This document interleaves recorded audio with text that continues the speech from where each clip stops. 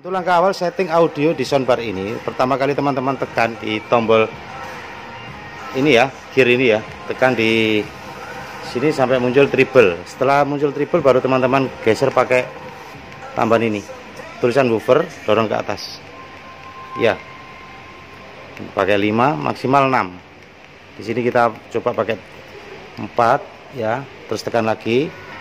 Ada bass, kita naikkan lagi Assalamualaikum warahmatullahi wabarakatuh. Ketemu lagi di Beda Elektro di channel review dan unboxing elektronik.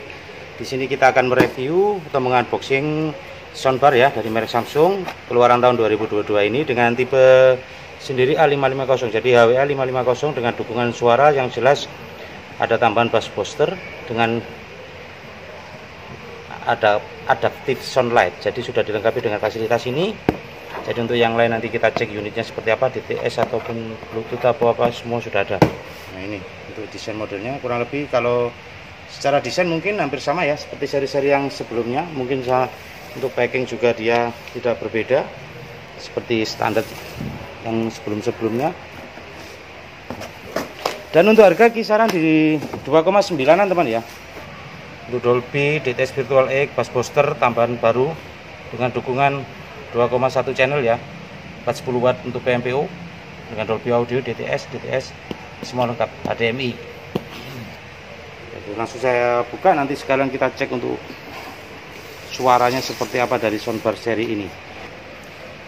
Untuk bagian main speakernya ya, mungkin ukurannya tidak sepanjang seri yang kemarin kita ada ya. Hawiki 600 ataupun 700 atau 800 ya jelas ini lebih pendekan dikit. Untuk suara juga kan dia masih menggunakan 2.1 ya. Jadi otomatis speakernya cuman ada tiga. Kalau yang HWK rata-rata 3.1.2 jadi otomatis di speakernya di sini dia lebih banyak. Nah, untuk otomatis displaynya dia lebih panjang. Kalau di sini displaynya lebih pendek. Ya kita cek dulu untuk tampilannya kalau secara bentuk dengan seri sebelumnya tidak berubah ya, jadi bentuknya tetap sama. Jadi modelnya kotak persegi untuk tombol-tombolnya tetap di sini untuk tombol power, volume down, volume up dan input. Nah, digunakan seperti apa?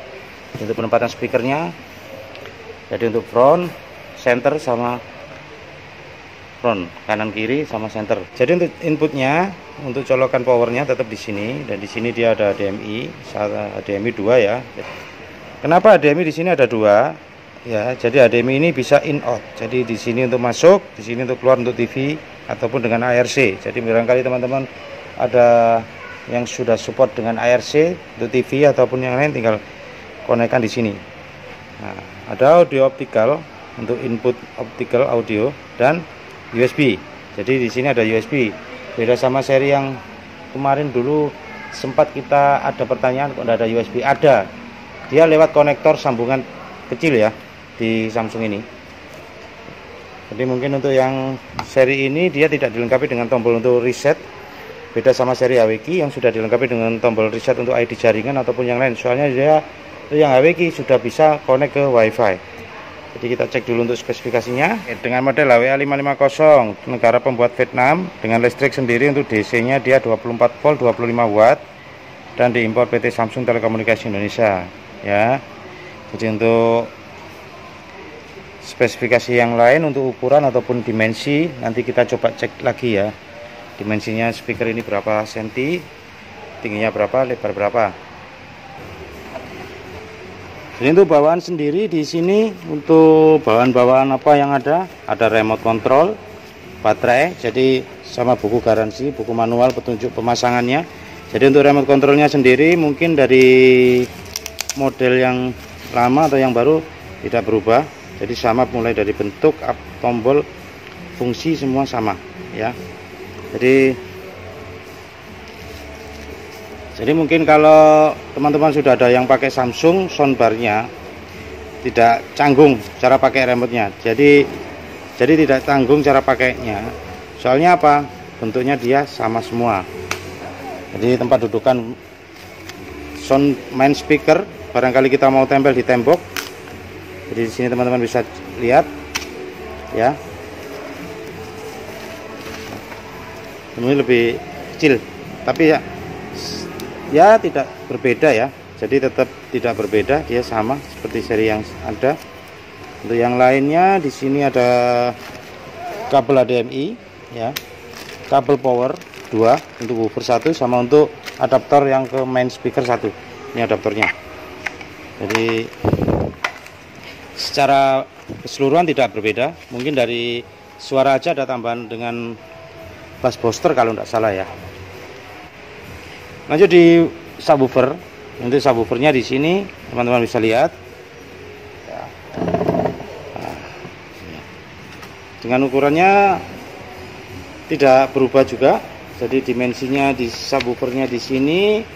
Jadi untuk dimensi subwoofernya untuk lebar tinggi sama kedalamannya di lebarnya dia 200,6 tingginya dia 353 kali 290 mm ya. Dengan kemampuan untuk daya output tetapannya dia 250 watt. Untuk mainnya jadi untuk main speakernya. Jadi untuk main speaker untuk panjang dia 86 kali 7 kali tingginya dia 55 mili dan 5 cm lah istilahnya 55,0 kali lebarnya dia 85 jadi panjangnya untuk yang main speakernya 86 cm dengan untuk konsumsi untuk penggunaan wattnya yang di main speaker 160 watt 40 watt kali 4 jadi jadi selanjutnya langsung saya coba pasang dan kita coba suaranya nanti seperti apa seri HWA 550 dari Samsung ini ya. Saatnya kita tes untuk audio teman ya. Jadi kita cek dulu untuk tampilan remote. Jadi untuk remote sendiri mungkin teman-teman sudah ada yang pakai. Secara bentuk secara tombol dia tidak berbeda. Jadi teman-teman mungkin ada yang sudah menggunakan soundbar Samsung mungkin tidak canggung ya. Jadi kita cuma mau lihat untuk kemampuan suaranya seperti apa ya. Mungkin kemarin sempat ada yang ber, apa ada yang komen tes suara audio. Kenapa suara apa suaranya ternyata walaupun sudah pakai headset kecil banget? Oke jadi kita tesnya hanya lewat handphone teman ya. Mungkin dari suara speaker kurang keras ataupun apa di sini saya minta maaf ya. Ya kita untuk ngerekam juga masih menggunakan handphone. Jadi kita cuma untuk share aja untuk fitur-fitur apa yang ada di barang-barang elektronik di kita ya mungkin dari teman-teman ada yang kurang cocok kita minta maaf dan semoga ke depan kita bisa lebih baik dan lebih baik lagi oke kita menggunakan mau bluetooth di sini suaranya masih standar, belum kita rubah dan belum kita setting. Jadi nanti kita mau setting dulu untuk kemampuan soundbarnya ini seperti apa. Untuk langkah awal setting audio di soundbar ini, pertama kali teman-teman tekan di tombol ini ya, gear ini ya, tekan di sini sampai muncul triple. Setelah muncul triple baru teman-teman geser pakai tambahan ini. Tulisan woofer dorong ke atas. Ya, pakai 5 maksimal 6 di sini kita coba pakai 4 ya. Terus tekan lagi. Ada bass kita naikkan lagi. Pakai 6 jadi sudah. Kalau untuk woofer itu dia langsung tombol ini. Kita naikkan di situ nanti dia langsung muncul angka 6 dan untuk pilihan sound mode nya mungkin tergantung selera dari teman-teman ya. Mau pakai jenis suron bass atau apa itu nanti nah ini ada bass booster tambahan untuk audionya. Ataupun yang mode game. Ataupun adaptif. Jadi tergantung dari selera teman-teman ataupun DTS virtual. Mungkin kalau DTS virtual ini nanti tergantung dari audio yang diputar di sini teman ya. Film terutama. Tapi kalau untuk musik ataupun yang lain ada standar ataupun ada suron di sini kita mau tes satu-satu ada pakai bass booster oke Baik teman, di sini kita mau coba tes untuk DTSX-nya ya. Untuk audionya ini seperti apa? Mungkin kita nyobanya ya formatnya dia juga harus dari filenya DTS audio jadi supaya lebih kelihatan nyatanya nanti untuk audionya seperti apa. Cuman untuk penerimaan di view nanti di videonya mungkin teman-teman kok suaranya kurang jelas kurang jelas kapasitasnya kurang baik. Memang harap maklum dulu ya. Memang audionya kita pakai handphone jadi mungkin maksimum kurang maksimum atau gimana jadi teman-teman harap sadar ya oke Nah, di sini kita mau tes seperti apa untuk audionya. Kita tes untuk ini. Kita tes audionya untuk soundbar ini seperti apa. Jadi simak terus, teman-teman.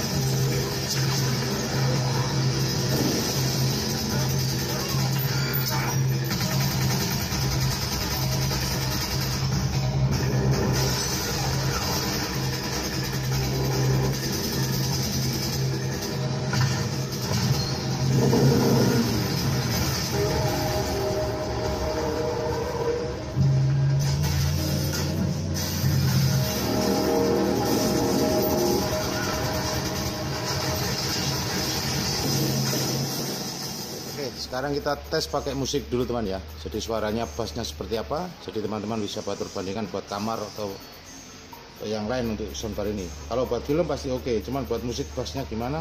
Kita coba.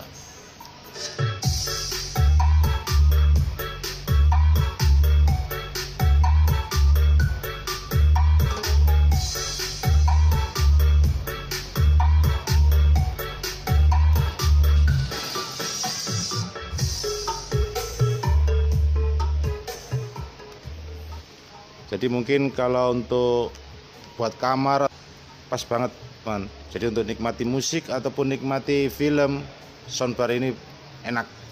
Dengan harga di bawah 3 jutaan. Mulai dari Bluetooth, HDMI, ARC apa, inputnya juga ada digital optical untuk output suara lebih lengkap dengan fasilitas DTS:X virtual, Dolby Audio dan dukungan lagi ada tambahan bass posternya. Jadi mungkin bisa dibuat perbandingan untuk jenis soundbar yang mau diambil dari teman-teman ya. Oke. Mungkin dari sini dulu untuk review dan unboxing saya di soundbar Samsung seri HWA 550. Ada salah-salah kata ataupun fitur yang belum saya sampaikan, saya minta maaf ya. Dan yang pasti jangan lupa untuk teman-teman yang baru mampir di channel BD Elektro, klik tombol subscribe dan aktifin tombol lonceng notifikasi untuk update video terbaru di channel ini. Semoga bermanfaat buat teman-teman semua. Terima kasih. Wassalamualaikum warahmatullahi wabarakatuh. Salam. Ciao. Okay, this is special collaboration by Kipli PDL White Martinu Project Remix.